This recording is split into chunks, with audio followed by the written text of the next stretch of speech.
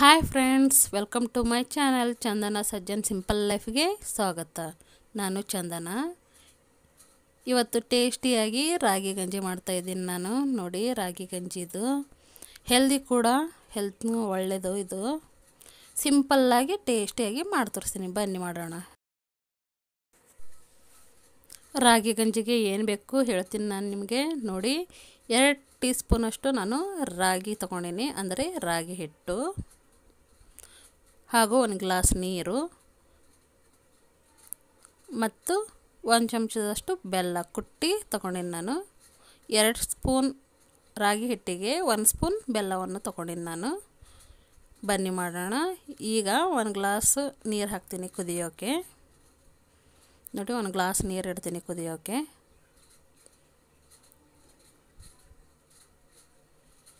ಈಗ ಚೆನ್ನಾಗಿ ಸ್ವಲ್ಪ ಕಾಯಬೇಕು. ಅಷ್ಟೊತ್ತು ನಾವು ರಾಗಿ ಹಿಟ್ಟಿನ ಪೇಸ್ಟ್ ಮಾಡ್ಕೊಳ್ಳೋಣ. ಚೆನ್ನಾಗಿ ಗಂಟಿಲ್ದಂಗೆ ಪೇಸ್ಟ್ ಮಾಡ್ಕೋಬೇಕು ರಾಗಿ ಹಿಟ್ಟನ್ನು, ನೀರು ಹಾಕಿ.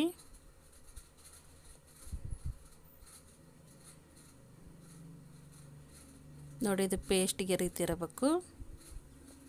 ಇವಾಗ ನಾನು ಬೆಲ್ಲ ಹಾಕ್ಕೋತೀನಿ. ಈಗ ನೀರು ಸ್ವಲ್ಪ ಕಾದಿದೆ.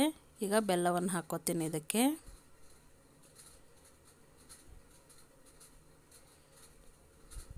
ಇದು ನಾನು ಕುಟ್ಟಿಟ್ಕೊಂಡೀನಿ ಬೆಲ್ಲ, ಅದು ಹಾಕ್ಕೊಳ್ತೀನಿ. ಈಗ ಚೆನ್ನಾಗಿ ಕೈ ಆಡಿಸ್ಬೇಕು. ಇದು ಕರಗಿದ ಮ್ಯಾಗೆ ನಾನು ನಿಮ್ಗೆ ತೋರಿಸ್ತೀನಿ.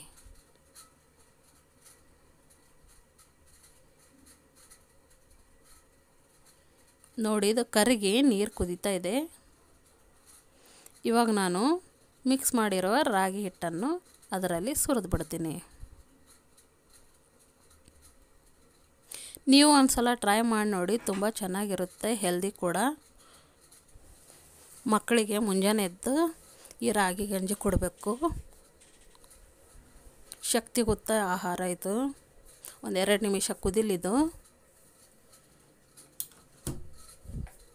ನೋಡಿ, ಇದು ಚೆನ್ನಾಗಿ ಕುದಿತಾ ಇದೆ ಇವಾಗ. ಈ ರೀತಿ ಆಗಬೇಕು, ಕುದ್ದಿ.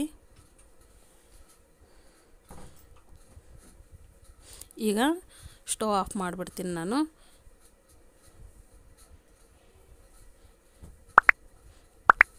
ಈಗ ಸರ್ವ್ ಮಾಡ್ತೀನಿ ರಾಗಿ ಗಂಜಿಯನ್ನು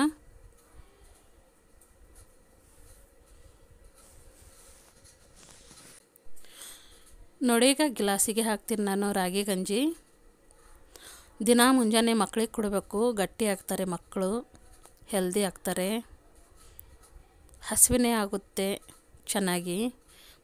ಮುಂಜಾನೆ ಎದ್ದು ಟೀ, ಕಾಫಿ ಬಿಟ್ಟು ಒಂದು ಗ್ಲಾಸ್ ಇದನ್ನು ಕುಡಿದ್ರೆ ತುಂಬ ಚೆನ್ನಾಗಿರುತ್ತೆ. ಲೈಕ್ ಮಾಡಿ ಶೇರ್ ಮಾಡಿ ಸಬ್ಸ್ಕ್ರೈಬ್ ಮಾಡ್ಕೊಳ್ಳಿ ಫ್ರೆಂಡ್ಸ್ ಸಪೋರ್ಟ್ ಮಾಡಿ ಹೊಸ ಚಾನಲಿಗೆ ನೋಡಿ, ಈಗ ಹಾಕಿದ್ದೀನಿ ನಾನು ಗಂಜಿ. ಈಗ ಅದರಲ್ಲಿ ಒಂಚೂರು ಹಾಲು ಹಾಕ್ತೀನಿ ನಾನು. ನಿಮ್ಗೆ ಬೇಕಾದಷ್ಟು ಹಾಕ್ಕೊಳ್ಳಿ. ನಾನು ಒಂದು ಅರ್ಧ ಬಟ್ಟಲಷ್ಟು ಹಾಲು ಹಾಕಿದ್ದೀನಿ.